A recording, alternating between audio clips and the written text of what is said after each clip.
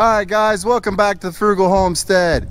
So today I thought I'd bring you up on the roof and we'll discuss the solar system, what it's been doing, how it's been faring, what has failed, and what's gonna change when we move it down to the tiny house. So let's go.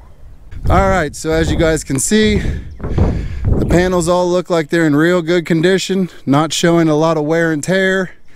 There is a little bit of discoloration here at the bottom, but that's just from where the water hits the wood and sits there in pools. I probably could optimize them by cleaning that, but at the moment, I'm really happy with how they're doing. Now, a lot of people said that these wooden mounts I have here would be twisted up in the first year. They are actually working fine.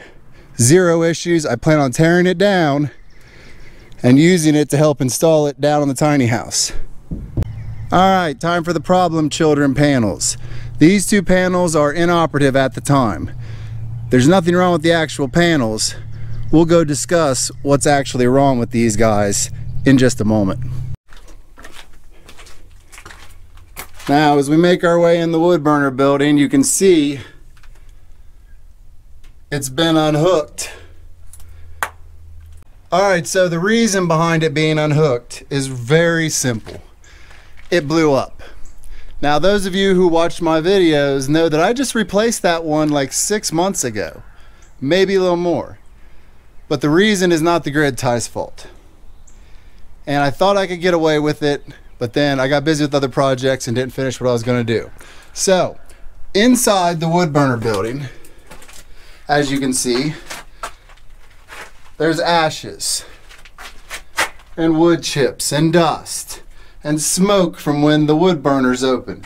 Because even when you open it and there's nothing going in it, it still has smoke that'll poof out. That combined with this being like an 8 by 10 building holds the heat in here.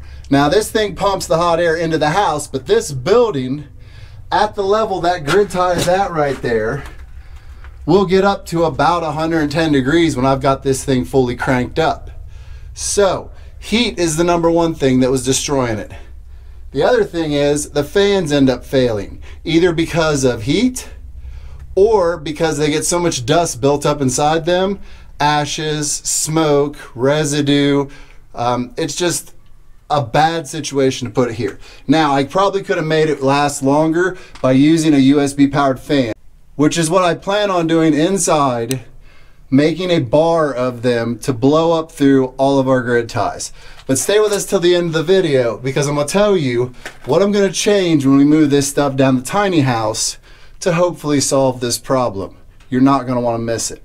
Alright guys, so hopefully you can hear me over top of these grid ties. They're kind of loud, but as you can see, all these are still running just fine.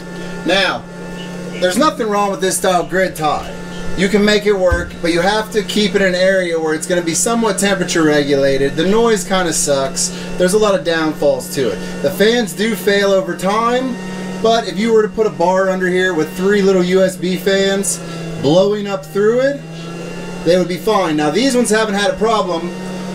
I did actually end up replacing the middle one here, but that was due to a lightning strike that hit a power line and it backfed through the whole system. It blew up TVs, it blew up all kinds of stuff. So that was not its fault.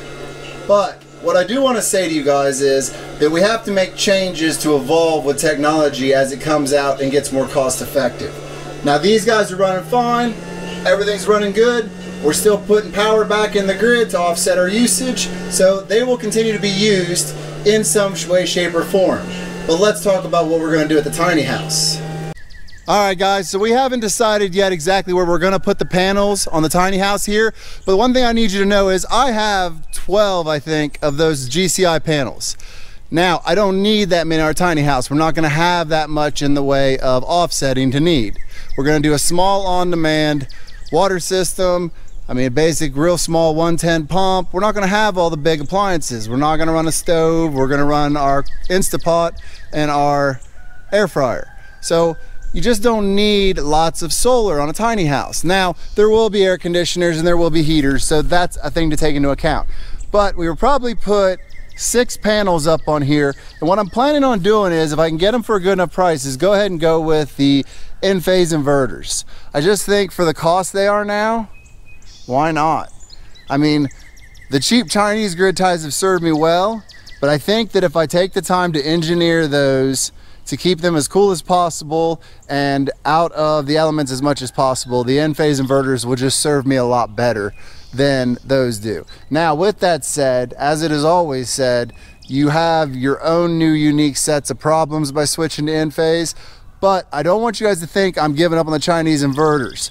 I'm just looking for another opportunity where I can put some panels up and where I can put those inverters up to serve a purpose for someone. So that's something we're looking at. That's what's going on with our solar system. Our little DIY grid tied solar system has served us well, made us tons of money because the honest thing is our bill is so low you've got to really crank it up to really get our power bill to go much over about 50 or 100 dollars for about nine months out of the year that makes for a huge savings over the four to five hundred dollars a month that we started having at our property up there now there has been other things we've done to learn to save electricity we also have put in a wood burner but it does basically run a fan or dual fan setup 24 hours a day blowing it through our house so take all that into comparison with the whole overall assessment of our system. Now in 2022, this system's coming down and going there. So I just wanted to give you guys an update of where we're at with everything. I want to make sure that if you're seeing us use these Chinese inverters, you know they're not perfect. You know that it's on you to make this system work better. They come to you in this format. That's expected to be put in perfect setup. So make it cooler, make it to the point where you can use it, where it will bring in power and it will last. Because the longer you make those last, the less of an investment you actually made. Let them pay themselves off and then go on to the next one. Now, with that said, if you haven't already, and I don't know why you wouldn't have, go down, hit the subscribe button, hit the notification bell so you see all of our upcoming videos. Go down in the comments, let me know if you use these lower cost inverters to grid tie or if you're off grid let me know about your system direct me to your videos I'd love to check it out and if you can go down and give this video a like because what that does is it throws it up in the algorithm and says hey people should see this video and it would help us out greatly don't forget lots more videos because I will film the whole thing as we install it however we decide to install it this summer on either a tiny house or on a pedestal or a ground mount. We'll see what happens. But I will see you guys in the next one.